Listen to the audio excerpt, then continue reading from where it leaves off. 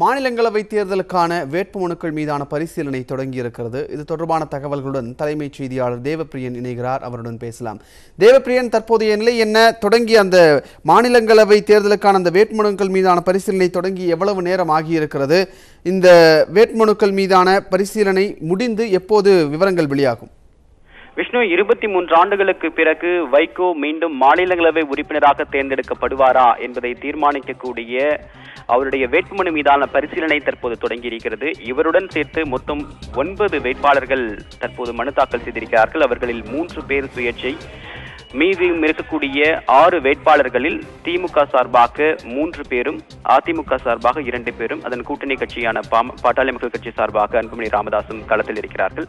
அதே போன்று திமுக கூட்டணி சார்பாக ஏற்கனவே தோமுசாவை சேர்ந்த சண்முகம் வில்சன் அவர்கள் இருவரும் மனு தாக்கல் செய்திருந்தாலும் கூட ஒருவேளை வைகோவுடைய மனு நிராகரிக்கப்பட்டால் ஒரு பாதுகாப்பு நடவடிக்கையாக திமுக சார்பாக என்ஆர் இளங்கோ மூத்த வழக்கறிஞர் மனு தாக்கல் செய்திருக்கிறார். இவர்கள் அனைவரின் வ- மனுக்கள் மீதான பரிசீலனை சரியாக பதினோரு மணிக்கு தொடங்கியிருக்கிறது.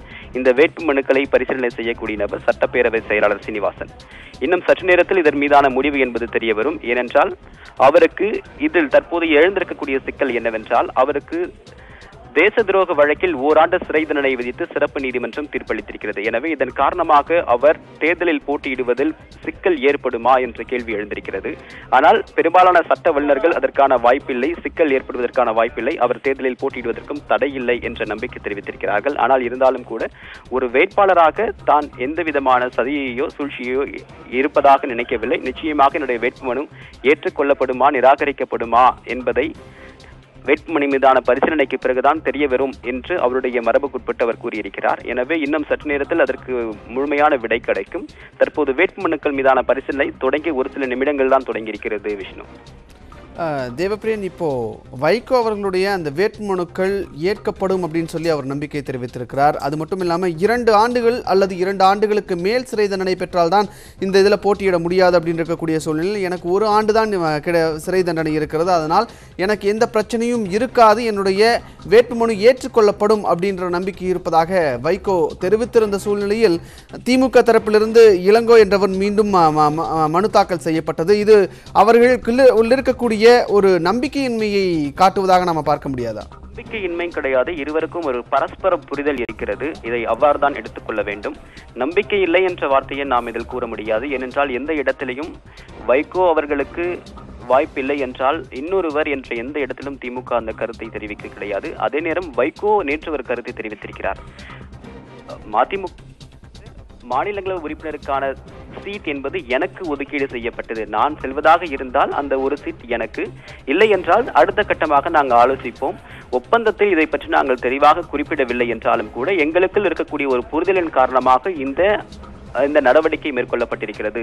எதிர்பாராத நிலையில் கடந்த பத்து ஆண்டுகளுக்கு முன்பு பேச போடப்பட்ட ஒரு வழக்கில் தற்போது தீர்ப்பு வந்திருக்கிறது. அதில் ஓராண்டு சிறை தண்டனை விதிக்கப்பட்டிருக்கிறது. ஒருவேளை இந்த தீர்ப்பின் காரணமாக நாங்கள் நான் போட்டியிட முடியாத சூழ்நிலை ஏற்பட்டால் அடுத்தது என்ன என்ற ஒரு புரிதல் நாங்கள் ஏற்கனவே விவாதித்ததுதான் அதன் அடிப்படையில் தான் என்னுடன் கலந்தாலோசித்தே என்ஆர் இளங்கோவை வேட்புமனு தாக்கல் செய்ய அவர்கள் அறிவுறுத்தியிருக்கிறார்கள். எனவே இது ஒரு புரிதலின்மை ஒரு நம்பகத்தன்மை இல்லை என்ற ஒரு வார்த்தையை நாம் கூற முடியாது. அவர்களுக்கு இருக்கக்கூடிய புரிதலின் காரணமாகத்தான் இந்த ஒரு கருத்தை வைகோ தெளிவுபடுத்தியிருக்கிறார். என்னுடன் ஏற்கனவே கலந்து ஆலோசிக்கப்பட்டது. எங்களுடன் இருக்கக்கூடிய ஒப்பந்தத்தில் இந்த விவரங்கள் தெளிவாக குறிப்பிடப்படவில்லை என்றாலும் கூட அந்த ஒப்பந்தத்தை தாண்டி நாங்கள் பேசிய விஷயங்கள் அந்த சீட் மாநிலங்களவை உறுப்பினருக்கு பதவிக்கான ஒரு ஒரு சீட் என்பது வைகோவுக்கு தான் ஒதுக்கப்பட்டது. நான் செல்வதாக இருந்தால் அந்த சீட் கொடுக்கிறோம் என்று திமுக தரப்பில் பேசியிருக்கிறார்கள். அதன் காரணமாகத்தான் தற்போது என்ஆர் இளங்கோ ஒருவேளை இந்த தீர்ப்பின் காரணமாக நான் மாநிலங்களவை உறுப்பினர் பதவிக்கு தேர்ந்தெடுப்பதில் ஏதேது சிக்கல் ஏற்பட்டால் அடுத்த கட்ட வாய்ப்பாகத்தான் ஒரு என்ஆர் இளங்கோவை வேட்புமனு தாக்கல் செய்ய அறிவுறுத்தினார்கள். இதில் அடுத்ததாக என்ன நாம் கவனிக்க வேண்டுமென்றால் இன்று வேட்புமனு பரிசீலனை மீதான தொடங்கி இருக்கக்கூடிய நிலையில் வைகோ மீதான அந்த மனு ஏற்றுக்கொள்ளப்பட்டால் உடனடியாக நாளை என்ஆர் இளங்கோ வாபஸ் பெற்று விடுவார் ஏனென்றால் வேட்புமனு தாக்கல் செய்வதற்கான அவகாசம் தான் முடிந்திருக்கிறதே தவிர திரும்ப பெறுவதற்கான அவகாசம் நாளை வரை இருக்கிறது. அதன்படி பார்த்தால் வேட்புமனு வைகோவுடைய வேட்புமனு ஏற்றுக்கொள்ளப்பட்டால் நாளை என்ஆர் இளங்கோ வாபஸ் பெற்று விடுவார் அப்போது வேறு எந்த சிக்கலும் இருக்காது. சுயேட்சைகளுடைய வேட்புமனு ரத்து செய்யப்படும் பட்சத்தில் இவர்கள் அனைவரும் போட்டியின்றி தேர்வு செய்யப்படுவதற்கான வாய்ப்பும் இருக்கிறது. அது இன்னும் சற்று நேரத்தில் தெரிய வரும் விஷ்ணு. தேவப்பிரியன் சட்ட வல்லுநர்களும் இதில் எந்த பிரச்சனையும் இருக்காது அப்படின்னு அவர்களுடைய கருத்துக்களை தெரிவித்து வரக்கூடிய சூழ்நிலையில் ஒருவேளை அவருடைய மனு நிராகரிக்கப்பட்டு இளங்கோ அவர்கள் வரக்கூடிய ஒரு சூழ்நிலை ஏற்படுமே ஆனால் வைகோ அவர்களுடைய மனு நிராகரிக்கப்படுவதற்கான கிரவுண்ட்ஸ் என்னென்ன இருக்கு? தற்போது அவருக்கு தேச துரோக வழக்கில் அதாவது பல்வேறு சிக்கல்கள் இருக்கின்றன. ஏற்கனவே இதே வழக்கு ஒரு ஆங்கிலத்தில் ஐ அக்யூஸ் என்ற தலைப்பில் இவர் இவர் எழுதிய கடிதங்கள் தொடர்பான ஒரு வழக்கு நீதிமன்றத்தால் விடுவிக்கப்பட்டிருக்கிறார். கருத்து சுதந்திரம் என்ற அடிப்படையில் விடுவிக்கப்பட்டிருக்கிறார். ஏற்கனவே நாம் இது தொடர்பான முழுமையான விவாதம் நடத்தியிருந்தோம். அந்த விஷயத்தில் அவர்கள் குறிப்பிட்ட விஷயம் என்னவென்றால் ஒரு வழக்கில் மொழிபெயர்ப்பின் காரணமாக அந்த தண்டனை அந்த சட்டத்தின் சாரம்சம் வேறு விதமாக இன்டர்பிரட் செய்யப்பட்டிருக்கிறது. அதனுடைய பரந்தபட்ச தன்மையின் காரணமாக அதே வழக்கில் அதே பிரிவில் ஒரு நீதிமன்றத்தால் விடுவிக்கப்பட்டவர் இன்னொரு இடத்தில் வரும்போது அது நீதிபதியின் அந்த சட்டத்தை இன்டர்பிரட் செய்யக்கூடிய தன்மையின் அடிப்படையில் அவருக்கு தண்டனை வழங்கப்பட்டிருக்கிறது. இதை அவருக்கு மேலும் மேல்முறையீடு செய்வதற்கான வாய்ப்பு இருக்கிறது. இதுவே ஒரு இறுதிக்கட்ட தீர்ப்பாக எடுத்துக்கொள்ள முடியாது. ஏனென்றால் இந்த சட்டத்தை பொறுத்தவரைக்கும் செடிஷன் அப்படின்னு சொல்லக்கூடியது நாம் வழக்கமாக அது ஒரு ராஜ துரோகம் என்ற ரீதியில் கடந்த இங்கிலாந்து பிரிட்டிஷார் ஆட்சியின் போது கொண்டு வரப்பட்ட சட்டம். அப்போதிருந்து இந்த சட்டத்துடைய தன்மை வெவ்வேறு காலங்களில் வெவ்வேறு வடிவங்களில் அது பிரயோகப்படுத்தப்பட்டிருக்கிறது. தற்போது அது பயன்படுத்தப்பட்டிருக்கக்கூடிய விதத்தை பார்க்கும்போது இது ஒரு எந்த நீதிபதி இதை விசாரித்தாரோ அந்த நீதிபதியின் புரிதலுக்கு உட்பட்டது. அவர் இதை எவ்வாறு வேண்டுமானாலும் அவை இன்டர்பிரட் செய்து அவர் தீர்ப்பினை வழங்கலாம். அதன் அடிப்படையில் தான் இவருக்கு இந்த தீர்ப்பு வழங்கப்பட்டிருக்கிறது என்பதுதான் அரசியல் நோக்கர்களின் சட்ட நிபுணர்களின் கருத்தாக இருக்கிறது.